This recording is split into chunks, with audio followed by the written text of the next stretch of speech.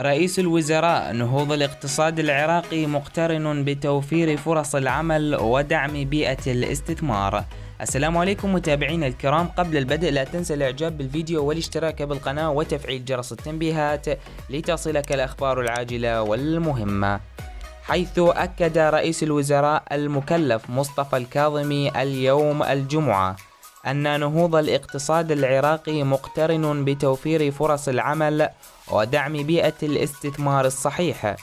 وقال الكاظمي في تغريدة له بمناسبة عيد العمال العالمي أرفع أسمى التهاني لكل النساء والرجال الذين يديمون الحياة بأعمالهم وجهدهم وسعيهم خلف رزقهم الحلال بلا كلل.